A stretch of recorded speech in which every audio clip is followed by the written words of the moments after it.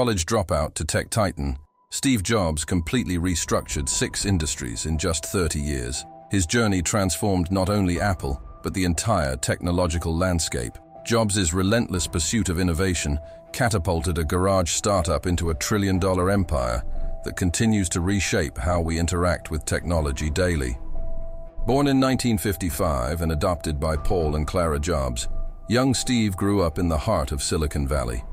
His fascination with electronics blossomed early, nurtured by his father's craftsmanship and the tech-rich environment. In high school, a fateful meeting with Steve Wozniak ignited a partnership that would change the world. Jobs's brief stint at Reed College ended abruptly, but his hunger for knowledge persisted. He audited classes, slept on friends' floors, and collected Coke bottles for food money. Little did anyone know this college dropout would soon become a millionaire. In 1976, Jobs and Wozniak founded Apple Computer in Jobs' parents' garage.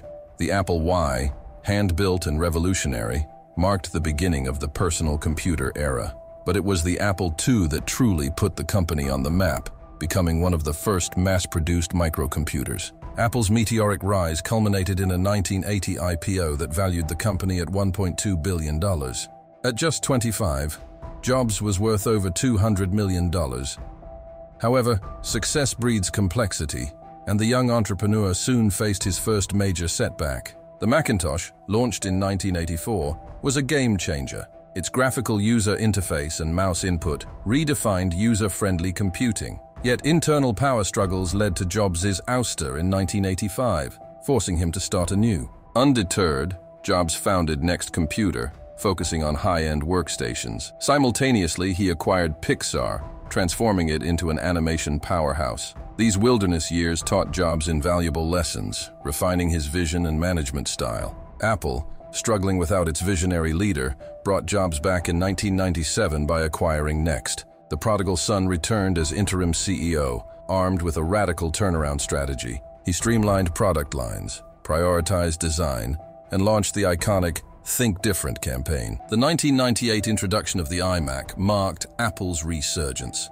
Its all-in-one design and emphasis on aesthetics signaled a new era of consumer-focused computing. A strategic partnership with Microsoft further stabilized the company, setting the stage for unprecedented growth. Jobs then set his sights on the music industry. The 2001 launch of the iPod, promising 1,000 songs in your pocket, revolutionized portable music iTunes followed in 2003, legitimizing digital music downloads and reshaping the entire industry's business model. But Jobs' most significant innovation was yet to come. In 2007, he launched the iPhone, a device that combined a phone, iPod, and internet communicator. Its revolutionary touch interface and subsequent App Store launch in 2008 created an entirely new ecosystem, disrupting established players like Nokia and BlackBerry. Not content with dominating smartphones, Jobs introduced the iPad in 2010. This post-PC device filled the gap between phones and laptops, creating a new category that impacted publishing,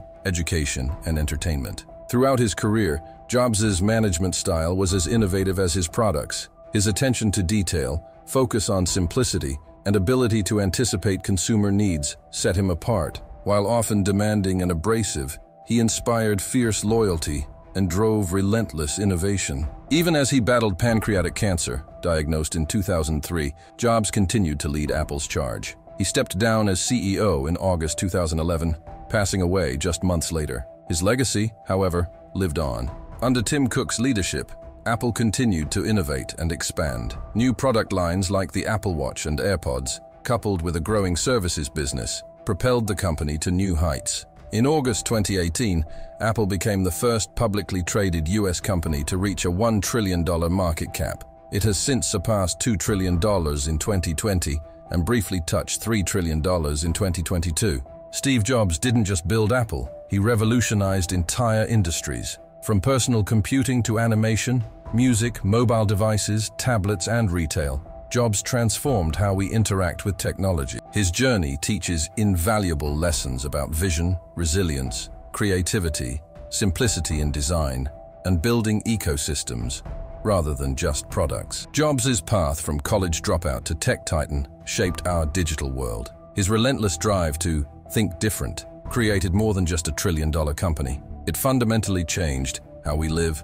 work, and connect. The Apple II and Macintosh redefined home computing, while Pixar's success revolutionized filmmaking. The iPod and iTunes transformed music consumption, and the iPhone with its App Store birthed a new mobile ecosystem. The iPad ushered in the post-PC era, while Apple stores reinvented the tech shopping experience. Throughout his career, Jobs demonstrated the importance of having a clear vision and the resilience to overcome setbacks. He balanced creativity with business acumen, understanding that great ideas need solid execution to succeed. His obsession with simplicity and design made complex technology accessible to the masses. Perhaps most importantly, Jobs grasped the power of creating entire ecosystems rather than standalone products, a strategy that continues to drive Apple's success today. Jobs' impact on modern life is hard to overstate. His ability to anticipate and shape consumer needs, coupled with his uncompromising pursuit of perfection, set new standards across multiple sectors. Even years after his passing, his influence continues to be felt in every sleek smartphone design, every user-friendly interface, and every seamlessly integrated tech ecosystem. In the end, Steve Jobs' greatest achievement wasn't just building a trillion-dollar company. It was reshaping our relationship with